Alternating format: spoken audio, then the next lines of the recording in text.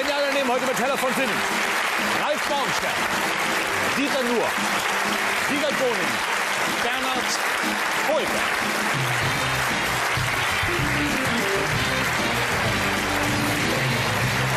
Na, meine Damen und Herren, schön, dass Sie da sind. Hier ist Genial daneben. Ich freue mich sehr. Ich freue mich auch, dass äh, Ralf Morgenstern heute zum ersten Mal bei uns dabei ist. Äh, Finde es sehr schön. Äh, und äh, bin jetzt entjungfert, ja. Du bist ein Jungfern, natürlich. Äh, Und ich bin mir sicher, dass du auch äh, trotz dieser Intelligenzbestien, die heute hier sitzen, wahrscheinlich die eine. Ich rede von den Menschen hinter euch, ist klar. klar. Ähm, die eine oder andere Frage bestimmt sofort beantworten kannst. Herr Walder, haben Sie noch etwas im Mund? Ja, Zähne. Noch. Und worauf kauen Sie Auf der gerade? Klebepaste zwischen Zähne und Gaumen. Herr Balder, haben Sie noch etwas im Mund? Was für eine Frage. Äh, freue mich auch, dass Dieter Nuhr da ist, Wiegald Boning, Bernhard Hoeker heute auch wieder mit diesem äh, Haarshampoo heute gewaschen, mit dem Nee, ich Glanzshampoo. habe äh, ich hab heute sowas genommen. eine Haarkur drin. Nee, das war so eine Creme, so eine Cremelösung, hat aber auch geschäumt. Das Ja. Ich benutze ja Creme Brûlée. Creme.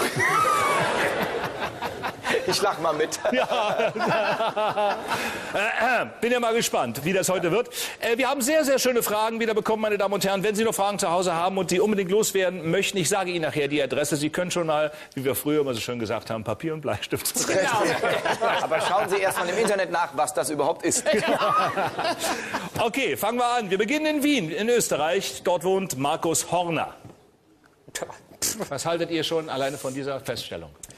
Ja, Markus Horner, die kann Frage passieren? ist, hat er die Warnsirene eines Rettungsfahrzeugs erfunden oder war es sein Bruder mit dem Namen Martin? Ach, jetzt verstehe ich, wegen Martin Horner. Entschuldigung, Ja. soll man gar nicht drüber lachen eigentlich. Nein, Horner ist ich war das noch gar nicht die fertig. Quetschebügel, wie die Kölner sagen. Es ist eine alte, Ich war noch gar nicht fertig. Die Firma. Frage kommt ja erst. Ja, nicht Horner? Also, Markus Horner möchte wissen, was ist ein G-Flügel? Also nicht ein, Ge GEH. nicht ein Geflügel, sondern Mit G-Flügel. GEH. Mit GEH. Ein G-Flügel. Ja. Ja, Leonardo da Vinci hat ja die ersten Versuche mit äh, Fluggeräten durchgeführt, beziehungsweise Zeichnungen äh, angefertigt, die zu diesen Versuchen hinleiten sollten. Also Flügel angelehnt an den Vogelflügel, der mit den Füßen des Piloten getreten wird. Muskelkraft. Stichwort Aviation und Muskelkraft. Und dann? Und dann komme ich mit meiner Theorie. Ich glaube, das Huhn an sich, es hat doch noch so nette Flügelchen. Aber haben wir es schon mal flie fliegen sehen? Nein, das Huhn an sich geht. Und die Flügel haben sich wahrscheinlich zurückgebildet, weil es nicht mehr richtig fliegt. Deswegen glaube ich, dass der Ornithologe beim Huhn zum Beispiel oder bei anderen Vögeln, die eben nur gehen, aber noch Flügeln haben, die sie aber nicht zum Fliegen benutzen können, vom sogenannten G-Flügel spricht. Daher ist wahrscheinlich auch das Wort Geflügel entstanden. Ohne, ohne Meines. Erachtens fliegen Hühner, aber und zwar selbst ohne Kopf. Das ist so. Wenn man den Kopf abschneidet, fliegen sie sogar noch ein Stück weiter. Fliegen- ich weiß. Mal Das ist so richtig. Sie laufen auch dann noch nicht weiter. ausprobiert. War das nicht Störtebecker, der noch lief, ohne Kopf? Ja, das ist nicht Das war nur kein Hühner. Huhn. Ja, nicht nur Hühner, auch Piraten. Piraten auch, ja. Ja, Ja. aber das das... versehentlich mit dem Frosch ausprobiert, glaube ich, damals, als ich klein war, aber das ist auch nicht mehr Und konnte geflogen. der Ja, nur das macht sie nicht wirklich sympathischer. Ich war klein, ich war sehr ja, ja, klein. egal. Ich war auch klein und übergeordnet. Laubvögel. Auch der Strauß verwendet ja diese Stummelflügel, um bei hohem Tempo äh, die, die Balance zu erleichtern. Hat der G-Flügel? Der Strauß. Ja.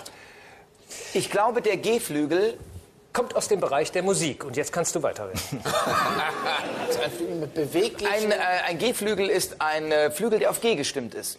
Was? das wäre der G-Flügel ohne EH. Oh, da gibt es aber viele Flügel. C-Flügel, Cis-Flügel, Genau. D-Flügel, Dis-Flügel.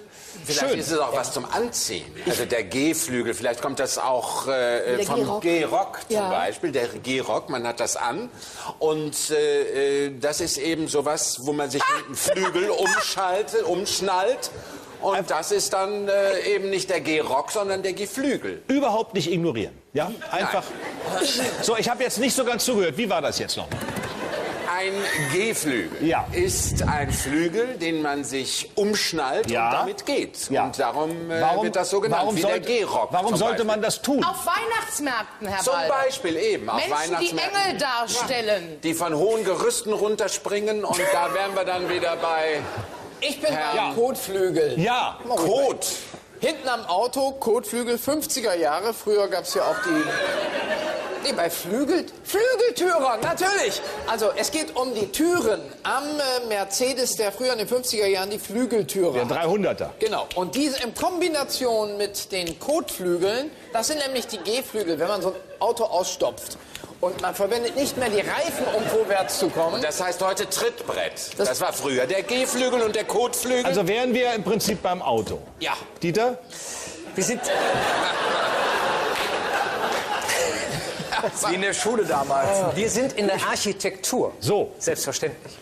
Und zwar, äh, ich habe äh, ich hab einen Teil meines Lebens an der Universität Essen verbracht. Und da Als waren was? die Flügel des, des Universitätsbaus mit Buchstaben benannt. Da hat eine Kommission sechs Monate dran gesessen, damit der gelbe Flügel den Buchstaben S bekommt. Für Sandgelb. Ja, Das ist kein Scherz, das ist wirklich wahr. Was war denn im G-Flügel untergebracht? Und der G-Flügel ist wahrscheinlich Gänsegrau. Und ist gebaut worden, nachdem ich fertig war mit dem Studium. In Also ich glaube, dass es eine bestimmte Form von Architektur gibt, wo äh, es gibt ja ein U-förmiges Haus oder ein T-förmiges Haus vom Grundriss her und ein G-Flügel. Das ist, wenn ein U-förmiges Haus noch einen Flügel hat, der noch mal nach da führt und noch mal so da rein in das der- Innere. Wie ist dann der G-Flügel. Wolfsburg. Also Ja. ich bin ja übergeordnet Fußballmannschaften, die im Flügel spielen. Kann ich wenigstens hören, dass ich Dünnpfiff geredet habe? Ja. Die, also Fußballmannschaften, die beim Flügelspiel über eher langsame Außenstürmer verfügen, Ja. die halt weniger laufen, sondern je länger das Spiel wird, auch immer häufiger gehen. Da spricht der Fußballreporter vom G-Flügel. So Charlie Dörfel früher. Zum Beispiel, das Nicht der ja am Anfang viel gelaufen ist und dann doch während des Spiels am immer. Ende zum G-Flügelstürmer wurde. Aha. Wären wir also im Sport? Ja. Praktisch. Ja. Äh, würden wir da auch bleiben beim Sport? Das Oder- kommt auf Sie an, Herr Balder. das kommt auf mich an. Es kommt darauf an, ob ich drankomme. Ich würde, Sie waren doch, grad- Sie waren doch gerade erst dran. ich möchte aber gerne nochmal. Bitte. Hermes hatte G-Flügel. Er Falsch. hatte klein. Äh, noch jemand eine Idee?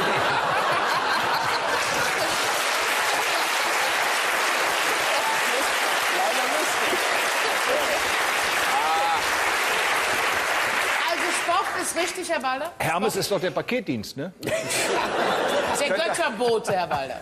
Der Götterbote. Was war mit dem Götterbote? Der hat kleine Flügelchen an seinen Füßen. Ist wahr? Ja, damit er, ja, an seinen. Füßen. Oder an den Fü- Oder an den Füßen. Ja, wahrscheinlich, ja, damit er wahrscheinlich kommt drauf an. Auf jeden Fall, wenn der, ich meine, der hätte die auch in den Füßen manchmal. Ja. Je nachdem, wie er dargestellt sind ist. die Gaulois früher, die Zigaretten. Gaulois die haben- hatten, glaube ich, Ja. den Helm mit den Flügeln. Asterix Ja, zum Beispiel richtig. auch. Hast du ein Kartenspiel dabei? Und der hatte, und das sind G-Flügel, weil die kann man auch beim Laufen benutzen. Was? Dann bin ich der Meinung, es ist ein, auch in der Architektur, es ist der Flügel, durch den man aus dem Haus herausgeht. In einem Theater oder in einem, äh, in einem Kino gibt es einen speziellen Flügel für die Leute, die rausgehen. Flügeltüren. G-Flügel.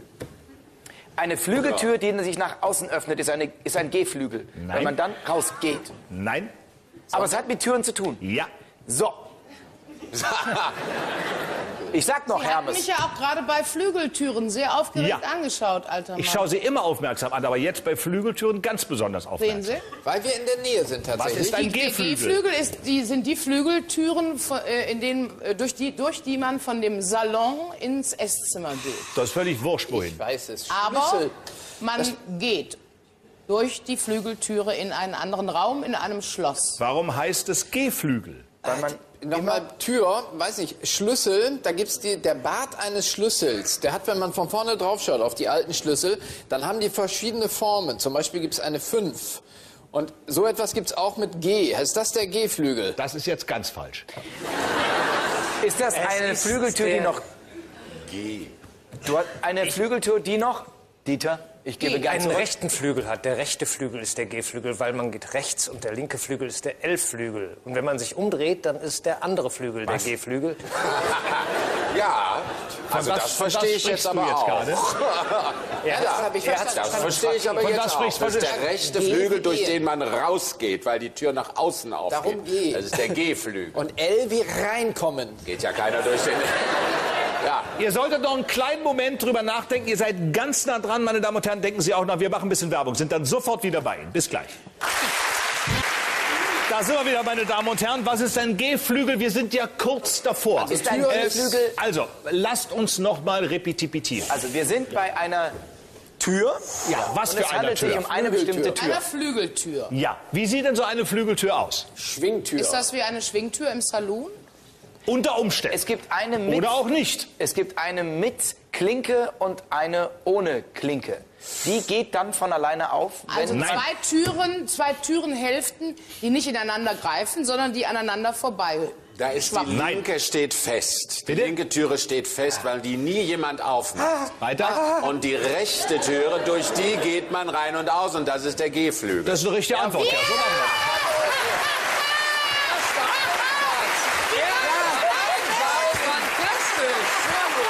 Weil ich gerade eine Tür gekauft habe. Ich habe gerade eine Flügeltür gekauft.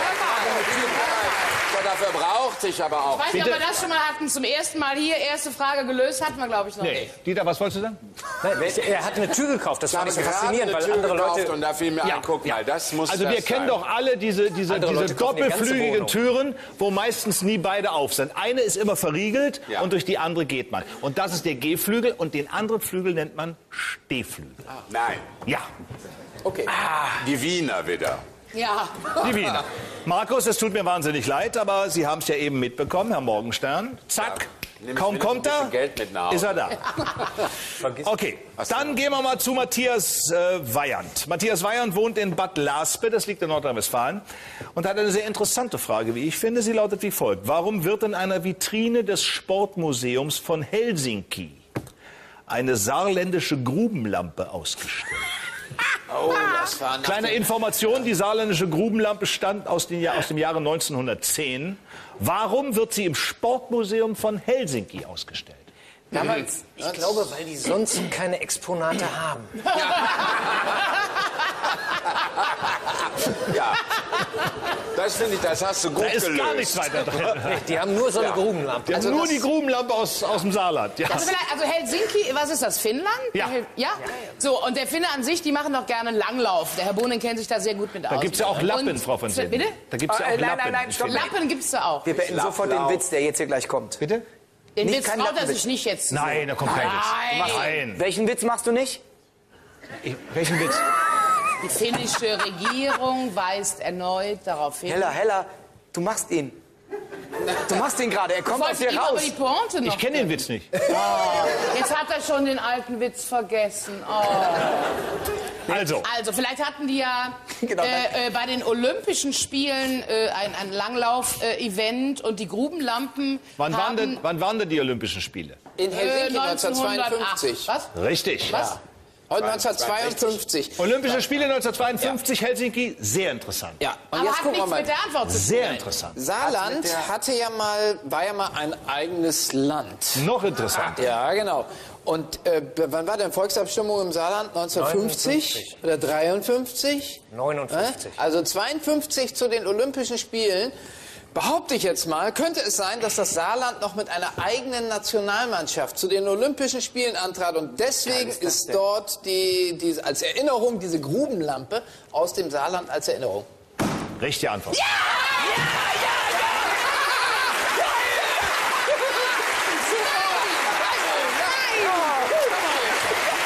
macht mir Angst.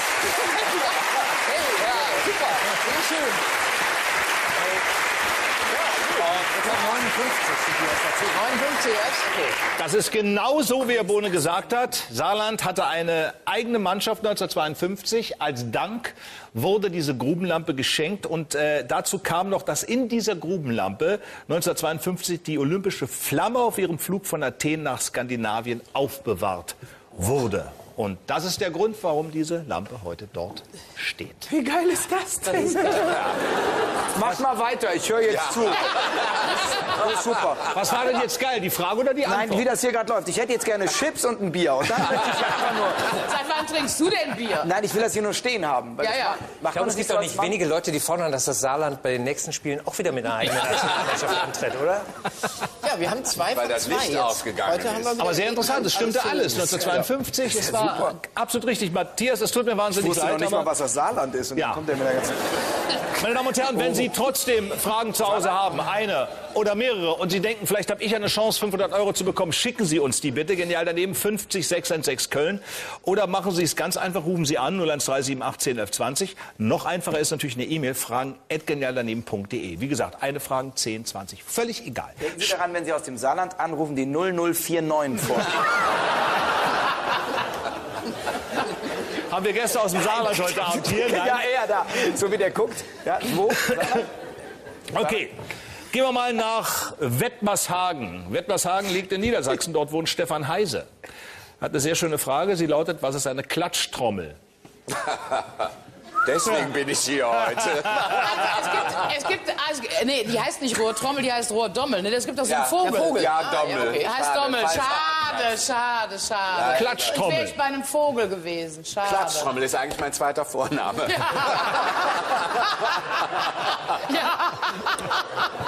Sehr schön. Da hätte ich aber gefragt, wer oder was. Also, ja, ja. ja. Ich frage Okay. ja nur Eine was. Klatschtrommel, hat es was mit der Waschmaschine zu tun? Waschmaschinen haben ja Trommeln. Und bei der Klatschtrommel klatscht, die klatschen die Wäschestücke so gegeneinander, dass das im Schleudergang sie trocknet. Im weitesten Sinne ja. Wie jetzt? Im weitesten Sinne ja. Im weitesten Sinne ja, im Sinne von eine Klatschtrommel ist in einer Waschmaschine. Nee, ein sich drehendes Ding, wo Am innen drin was zusammenklatscht. Das ist am Fluss. Im weitesten Fluss. Sinne ja. Aber wirklich nur im weitesten Sinne. Ja. Früher sind die Frauen doch zum Fluss gegangen zum Waschen. Ne? Ja. So.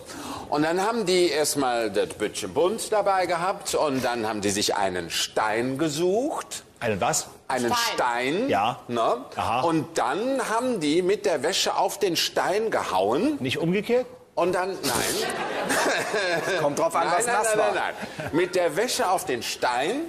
Und, Und dann? diese Frauen nannte man Klatschtrommeln. Als wenn es, wenn es üppige Frauen waren. Ja. Ich glaube, eine Klatschtrommel äh, haben wir äh, alle an unserer Fahrräder früher gemacht. Das waren, äh, so nennt der äh, Fahrradfachverkäufer, die, äh, Der die wer? der Fahrradfachverkäufer, so nennt er die Spielkarten, die man Das ist ein mit Lernberuf? Ja, ja, das kann man lernen. Wenn man lernen kann, kann man das lernen. Machen Sie. Und dann, und zwar werden das so Spielkarten, werden mit einer Klammer hinten an den, äh, ans Hinterrad gemacht und die klatschen immer gegen das Hinterrad an die Speichen und das trommelt. Gatz, gatz, gatz, gatz, gatz, Warum gatz, macht man das Weil es geil klingt. Ich hatte teilweise vier Stück und habe dann beim Fahren mit dem hinten einfach immer wieder rangezogen, weil je mehr äh, Druck drauf hat, Muss desto ein lauter war kleines das. Fahrrad gewesen sein. Ist das, Ich hatte viele Karten. aber ist das, das ist doch im Grunde der technische Vorgang nur übertragen in die frühe Industrie, zum Beispiel das Trommelwerk einer Wassermühle, könnte ich mir vorstellen. Also das, was dann den Hammer dazu bringt, in einer Schmiede die Arbeit durchzuführen. Das ist die Klatschtrommel. Wer? Es dreht sich das Wasser, das Wer? Mühlrad dreht eine, eine, ein, ein Rad an. Auf dem Rad sind kleine Nupsis und die Nupsis drücken einen Hammer hoch. Der geht hoch. Wenn der Nupsi vorbei ist, pack, fällt der Hammer wieder runter. Danke. Als Sie bei mir eben zutraulich ja, waren mit im weitesten Wenn der Sinne Nupsi ja. vorbei ist. Ja, also so. Meinten Sie dann im weitesten Sinne das System, was ich beschrieb, nämlich dass Dinge in einer Trommel zusammengeklatscht werden, oder waren Sie schon bei der Waschmaschine? Im weitesten Sinne das System. Das System. Also es ist eine Trommel, in der Dinge äh, gegeneinander geklatscht werden, um sich entweder zu färben, einen Färbeprozess durchzumachen oder um sich zu trocknen. Ist aber nicht da, wo die Hamster immer gegeneinander klatschen. Das gibt's ja auch. Wenn du die gegenläufig reinsetzt. Los, Ja. Habt ihr das nie gemacht? Nein! Wir haben Frösche im er, er, kennt sich, er kennt sich da aus, er war drin. Der sagt er. Ich lache auch noch. Okay, also wir sind auch nicht bei Lottozahlen in der Trommel, sind wir auch nicht. Da klatschen die... die Nee, das ist eine Lostrommel, glaube ich, oder? ja, ja, genau. eine Revolver Klatschtrommel. möglicherweise. Es gibt auch Trommelrevolver. Ja. Haben die was mit der Klatschtrommel zu tun? Also das sind da, da sind ja, äh, da ist ja so eine Patrone, äh, also da, wo man die Patronen reinschiebt, das ist ja die Trommel. Und die hat ja eine Stelle, wo es klickt, wenn die weiterläuft. Das wäre dann eine Klicktrommel. Ja, wahrscheinlich gibt es die auch in so groß, für Sehbehinderte oder so. Und dann Da klatscht es dann. Und hat es etwas mit einer Betonmischmaschine zu tun, die ja durchaus auch so ein trommelähnliches Gedöne hat, dass dann Ach so, und der Beton wird immer dass noch der Beton oder der Zement sich mischt und klatscht? Das ist gut. Nee, hat damit nichts zu tun. Frage ist, ich was bin beim Ein-Mann-Unterhalter in der Fußgängerzone. Ja. Ich probiere es jetzt mal ganz andersrum. Ja. Er hat eine große Trommel vor sich und oben hat der zwei so Hände aus Kunststoff. Ja.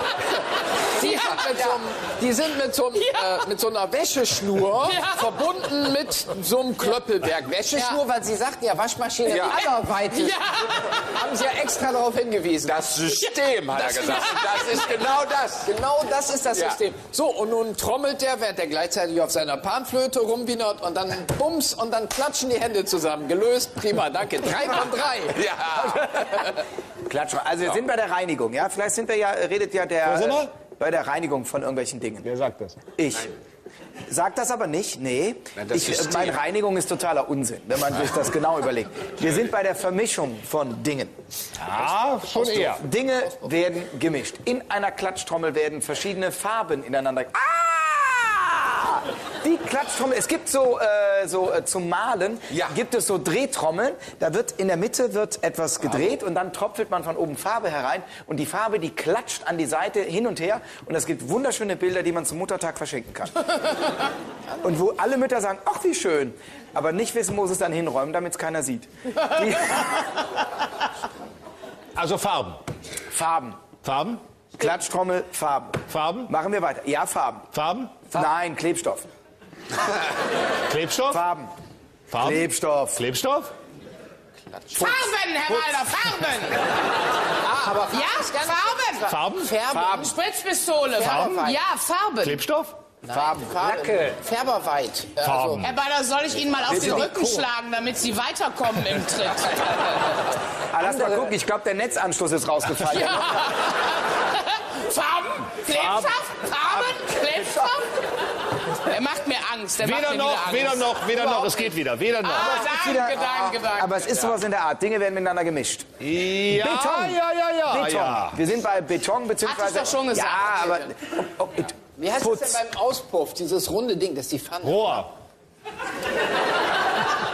Da sind wir wieder bei der Rohrtrommel. Rohrtrommel. Rohr ist der Stängel hinten. Rohr ist der Stängel. Ja, das, Topf. der, der hohle Stängel, der Strohhalm, der hinten aus dem Auto rausguckt. Davor ist doch so ein rundes Ding. Das sieht aus wie eine doppelseitige Pfanne. Der Topf. Der Topf. Das ist der Auspufftopf. Genau. Und? Ja. Und zwar nicht die Klatschtrommel, sondern der Auspufftopf. Schade, die Frage ist ein bisschen anders. Ja, nur, ja, Ja, sag nur du. warst ja, doch dran mit dem Ja, Trommelrevolver. das gehe ich mal ganz, ja? Ich wollte die Frage einfach noch mal hören. Was ist eine Klatschtrommel? Was ist eine Klatschtrommel? Sind wir denn eventuell beim Landwirt? Ist eine Klatschtrommel, um, um Samen zu mischen oder miteinander zu verpappen, um irgendetwas zu säen? Warum sollte er Samen verpappen? Und warum klatscht das? Und warum klatscht er Das in dabei? der Trommel. Vielleicht ist es einfach seine Art. An die Wand. Egal, es wird was vermischt, oder? Ja. Kunststoffe werden vermischt. Kunststoff? Chemische Stoffe. Warum denn? Weil die, die sind so einsam, wenn die so getrennt sind. Das ist wie so eine, wie so eine Partnerbörse. im- Rührwerk. Vielleicht ein manisch-depressiver Kunststoffmixer. Genau. Und dadurch, weil das sich da drin dreht, fängt er an zu klatschen und fühlt sich nicht mehr einsam. Finde ich gut. Ich habe zu viel genial daneben geguckt. Entschuldigung. Also Rührwerk ist aber in jedem Fall wichtig, richtig. Also es wird etwas verrührt, verklatscht wie eine. Betonmischmaschine. Und jetzt Naja, so ähnlich ein so bisschen. ähnlich. Und dann soll es in einem entfernten Sinne mit der Waschmaschine zu tun haben. Ja, oder zumindest das Prinzip der Bäcker, äh, Bäckerei war gerade das Stichwort. Da haben Das Prinzip ist ja mit der Waschmaschine, mit der Trommel, das haben wir schon geklärt. Das ist ja richtig. Ja, ja, Frage ist also, wird aber was? Was ja, ja, was wird vermischt, was, wird, vermischt? geklatscht? Eis, Was Speiseeis. wird aneinander geklatscht? Teig. Teig. Ja. Lebensmittel scheiden, glaube ich, aus. Ich Lebensmittel glaube, sind sehr schön. Wurst. wir, wir sagen mal Leben, Lebensmittel. Wurst, solange sie noch im flüssigen Zustand ist. Wurst. Blutwurst. Blutwurst.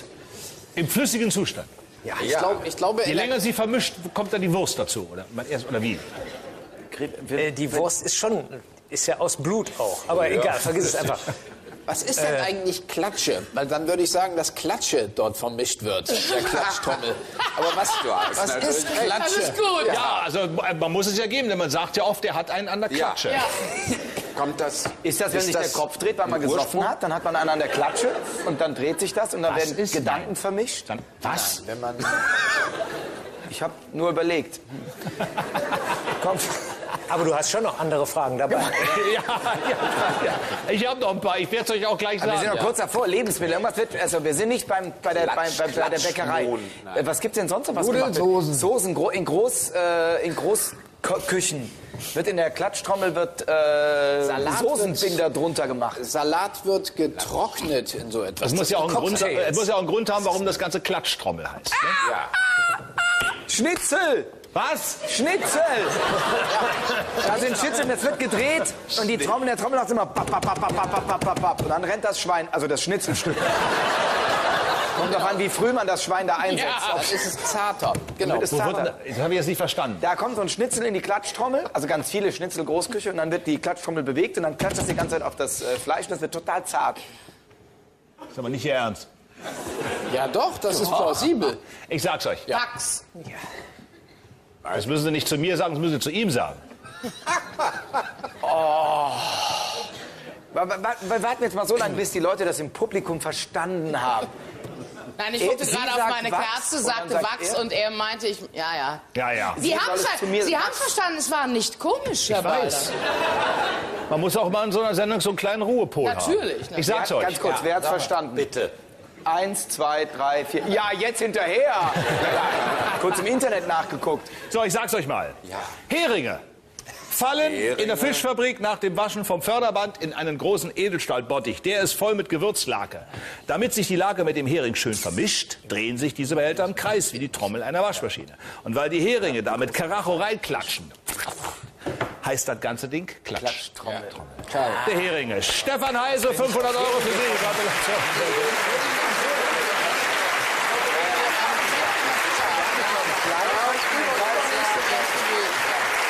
Ich meine, der Ansatz war ja gut Ja. mit der Waschmaschine. Mensch, wir hätten doch nur einen. Einmal das Wort Hering hätte ich Ja, auch aber nicht wenn Sie gelten schon bei Lebensmitteln zutraulicher gewesen wären, ich, bin, wir ich war sowas von Hat er zutrauen. gesagt, leben doch.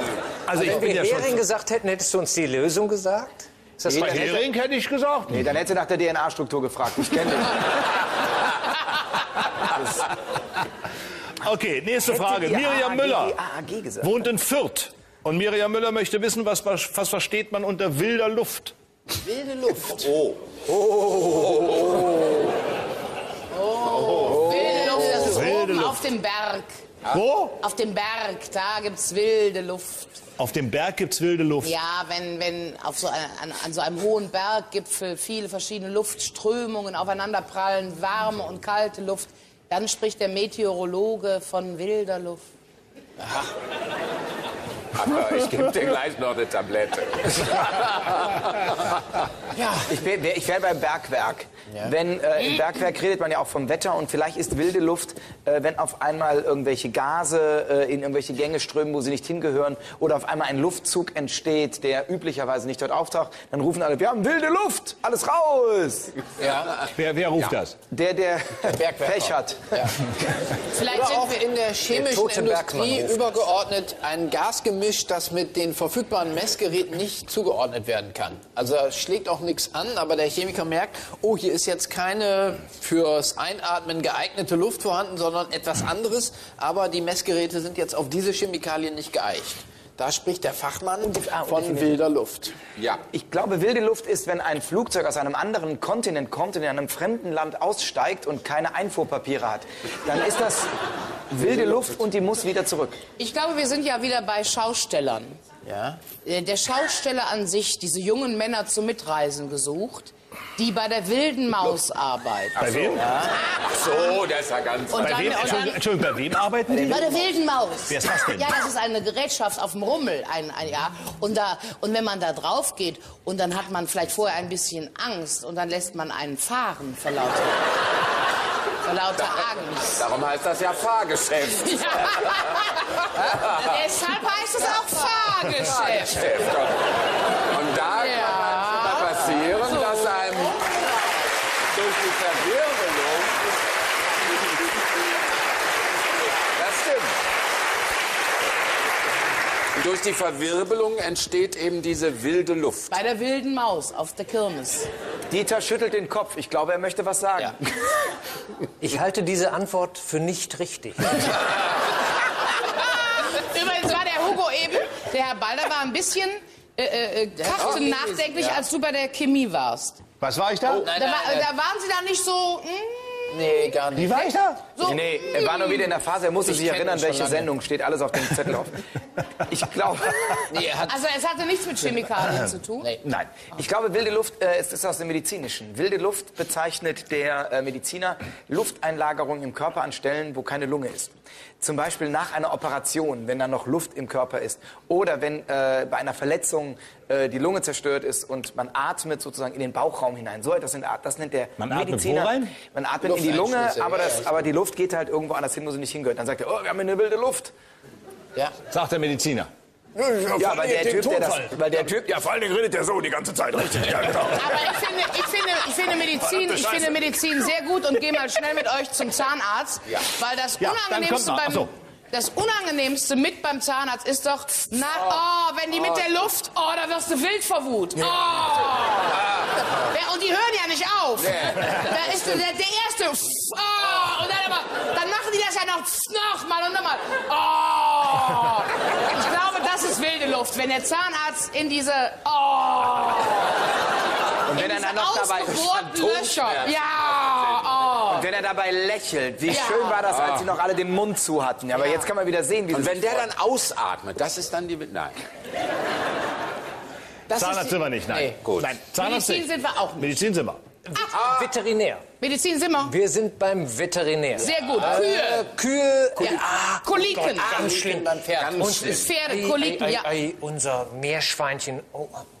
Geh weg. Unser Meerschweinchen ist daran gestorben an, an so einer starken Darmvergasung. Das bläht sich auf und das kann sich nicht. Guck weg.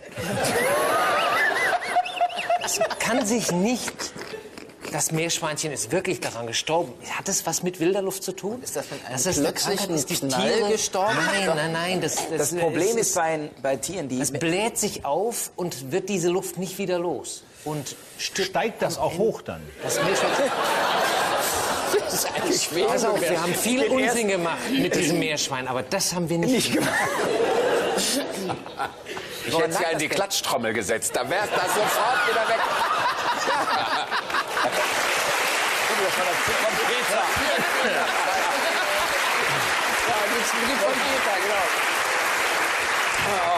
Wir müssen vielleicht Aber Sie sagten, Medizin ist richtig. Ja. Jetzt ist die Frage, ist das im menschlichen Körper? Oder es gibt doch auch diese Legionärskrankheit, die gerne angeblich durch Klimaanlagen äh, übertragen wird. So schlechte Viren in Richtig. Krankenhäusern. Gut, ja. Vielleicht äh, spricht man da von wilder Luft. Wenn sich, in, Legionärskrankheit, wenn sich. Bakterien oder Ja. Viren durch Klimaanlagen verbreiten. Nee, nee, ist schon äh, im, Im Körper. Ja. Und sie sind auch beim Menschen, nicht beim Tier. Beim Tier. Wir sind bei allen. Kann auch Wir bei sind Tieren bei wahrscheinlich sein. Wir sind bei Menschen. Wir sind Wilde Luft. jetzt Lufteinschlüsse hattest du schon. ich hatte Lufteinschlüsse. im Darmbereich. Oder in den Ohren. Wir sind Ja, bei wo denn jetzt? Das ist ja weit Ja, auseinander. ja, ja, ja, ja. Gibt's noch Wenn sich der Darm in den Ohren verhakt, Ja, ja. Das ist das wie bei dem Meerschweinchen. Natürlich. Also Darm wäre naheliegend, natürlich. Darm ist naheliegend, ja. Aber, Aber da nicht wollen richtig. Aber nicht richtig. Und Ohren, Herr Balder? Ohren ist weiter weg äh, vom Darm jetzt. Wilde Luft. Also es muss ja ein Bereich des Körpers sein, in dem normalerweise keine Luft vorhanden ist. nach einer, Darm, äh, nach einer, Beispiel nach einer Bauchspiegelung zum Beispiel wird ja der Bauch voll Luft gepumpt, Bauchspiegelung, aufgepumpt, förmlich, dass man aussieht wie Wie ein. Meerschweinchen sieht man dann. Ja. Sind wir vielleicht bei Unser Geburten? Bei Geburten sprechen vielleicht Hebammen von wilder Luft? Wenn was passiert? Keiner. Ich habe so selten geboren, Herr Balder. Ich wollte einfach mal in einen anderen Fachbereich reinstoßen. Ja, aber da sind wir ja jetzt alle. Was wollten Sie? Ich wollte in einen, in einen anderen Fachbereich. Vorsto ein Vorstoß war es, Herr Balder. Wir lassen, das, wir lassen das mal so stehen, meine Damen und Herren. Denken Sie auch mal drüber nach. Bisschen Werbung sind gleich wieder bei Ihnen. Bis gleich. Wir wollen immer noch wissen, was versteht man unter wilder Luft. Frau von Sinnen wollte irgendwo vorstoßen. Ja, und weil ich wollte einfach in, Geburt in den kann ich Ihnen Bereich gleich der sagen. Gynäkologie gehen mit. Geburt nicht. Pathologie. Oh, sehr gut. Ja, also der, der Denn Tod. die Leiche Also an noch, sich. noch was- drei Chancen. Das ist jetzt die dritte, dann noch zwei. Also Pathologie. Pathologie. Also der Tote ist jetzt Ja. tot, Ist wahr. liegt auf dem Tisch. Ja. Und es bilden sich Gase Ja. im Leichnam und der Pathologe spricht von wilder Luft. Ja. Vorschlag Nummer zwei. Äh, eine Blase, die nicht mit Wasser, sondern von, mit sehr viel Luft gefüllt ist. Die ist teilweise so groß, dass man Tiere draus knoten kann. Wir sind in der Medizin.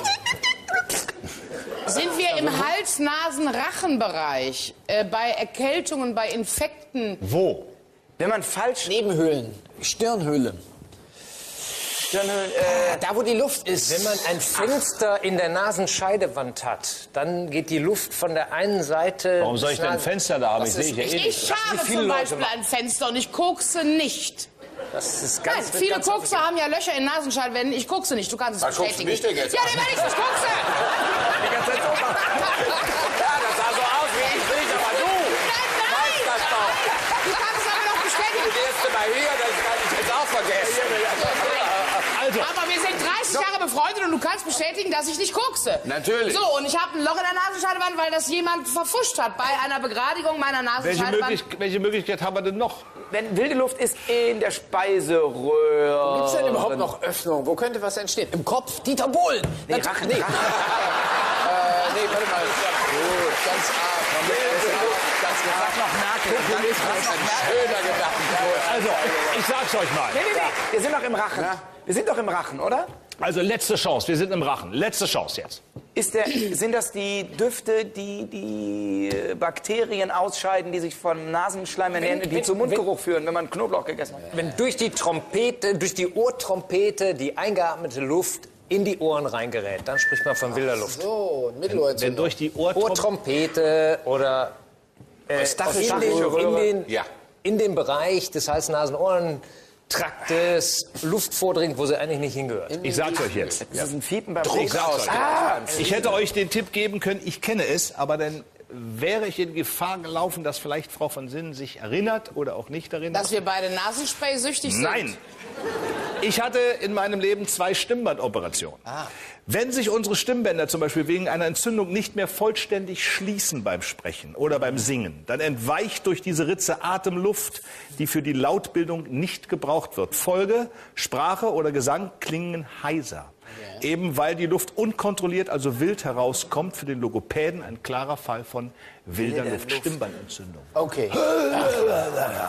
Miriam Müller aus Fürth, 500 Euro für Sie. Gratulation.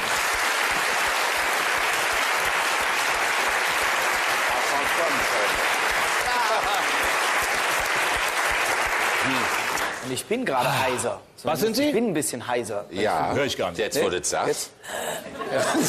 Nee, nicht? Also, Nein. Nein? Nein. Ich finde, Sie klingen ganz normal. Ja, finde ich auch. Das macht mir jetzt gerade Sorge. Wie ein junges Reh.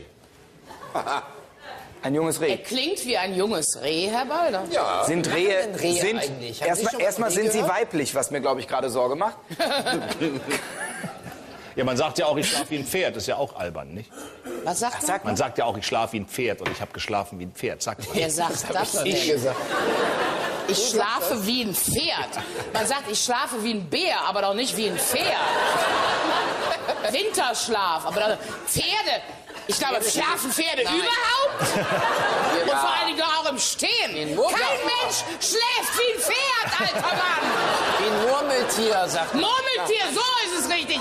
Ich schlafe wie ein Sie haben eine Murmeltier. Stimme wie ein Marienkäfer. Das könnten Sie vielleicht sagen. Dieter, Pferde stehen auf dem Flur. Könnten wir die nächste Frage hören?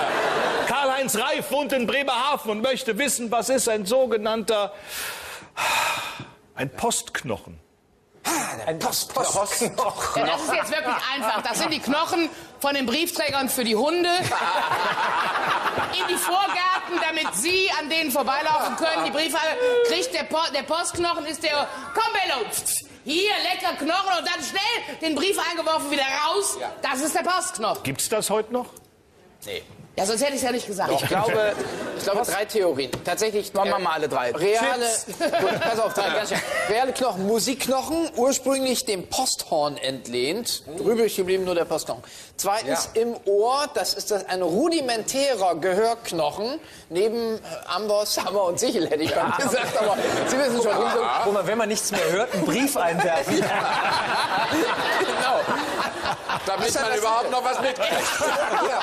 Und schließlich bei den Brieftauben, da gibt es natürlich den Knochen, der für den Antrieb letztendlich verantwortlich ist und damit auch für die Brieftaubnerei. Da habe ich heute Morgen was Interessantes gelesen. In Sao Paulo haben die Häftlinge sich von Brieftauben Handys und Aufladestationen ins Gefängnis fliegen lassen. Fand ich pfiffig. Das haben Sie heute gelesen? Ja, heute. Ich Ist das schon Wochen her, Wochen ich weiß. her, ja, ja. ja, ja, genau, muss ich sagen. Ja, ja. Oh, ich habe vor Wochen was Interessantes in der Zeitung gelesen. Ja, so ungefähr knapp drei Wochen. So, ungefähr. muss so Anfang April gewesen sein. Aber, Ja, Wunder, ich habe es nämlich auch gelesen. Ja, ja. Schaut mal das. nee, aber mit dem rudimentären Knochen, wir haben doch auch diese, äh, äh, hinten am Steißbein. Steiß, diese Ja. ehemaligen... Äh, Knochen, der noch drin ist, aber in der Entwicklungsmittel Aber nicht mehr viel kürzer. Was ist ein sogenannter Postknochen? ja, Ja, wieso? Postknochen, Haben wir doch jetzt gerade Nein, gelöst. nein, nein, das ist es ja der alles nicht. evolutionär noch äh, am, am menschlichen Körper sich befindet, aber nicht, äh, keine Funktion mehr hat. So nicht. Ist der ein Hat Postknochen? gar nichts aber mit so dem Knochen im menschlichen Körper zu tun. Ist der, ah, da glaube ich schon. Der Postknochen ist ein Knochen. Hat das was damit zu tun oder nicht? Ja. Nein. Nein, natürlich nicht. Postknochen. So, ein Postknochen. Dann ist es vielleicht doch bezeichnet der Postbote eine zusammengerollte Zeitung als Postknochen. Ich glaube, Eine zusammengerollte Zeitung. Warum denn? Weil die aussieht wie ein Knochen. Wenn die in der Mitte zusammengebunden ist, geht die da zusammen und am Rand geht die so, pilzt die so Nein, auf. dann sieht sie aus wie eine Fliege. ja, ist eine dann wär's eine Postfliege. Es ist ein Werkzeug, was der Postbote zur Verfügung hat, um bestimmte Türen oder Läden oder zu öffnen, Kästen ja. öff- zu öffnen, um etwas so. unterzubringen, da wo die Post nicht jeden Tag abgeholt wird. Wo wendet er das denn an? An Briefkästen. Bei den Verteilerkästen. Am rechten Auge. Woher soll ich es wissen? Nein, an so Sammelbriefkästen oder das, ich finde das schon gut. Ein Sammelschlüssel. Werkzeug im weitesten Sinne ja.